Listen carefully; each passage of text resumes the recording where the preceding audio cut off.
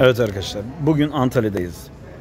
Emlakçı Reality World diye bir emlakçının e, işgüzarlığı ve beceriksizliği yüzünden iki gün Antalya'da kalmak zorunda kaldık. Tapu işlemleri geciktirdiler. Bu boşluğu da tabii gezerek dolaşarak kapattık. Bugün şu an meşhur dönerci Aydın Usta. Antalya'nın meşhur dönercisi dediği bir işletmedeyiz. Karşı taraf Tapu Kadastro Dairesi tam karşısı. Şimdi bir pilav üstü döner söyledik. Yanında hemen ayranımızı istedi. Sonra tatlısı geldi. Söğüş şeklinde birkaç malzeme geldi.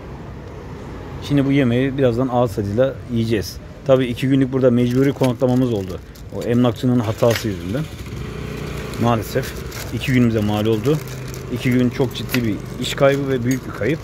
Ama yüzsüz yüzsüz bizi zor duruma bıraktılar. Önemli değil. Evet, şimdi bakıyoruz şöyle etin altındaki pilava bakalım. Etler orijinal gibi görünüyor. Yani kuzu eti mi diyor, dana eti mi her neyse işte. Ya arkadaşlar hazır gelmişken, hazır konaklamışken etrafta gezdik, dolaştık biraz. Pilav üstü döner, pilav üstü et döner. Söğüş, soğan, biber, yanında tatlısı, yanında maydanoz veya yeşilliği, ayranımız, iki parça pide ile birlikte neredeyiz? Meşhur dönerci Aydın Usta Antalya'nın meşhur dönercisindeyiz. Antalya'dayız.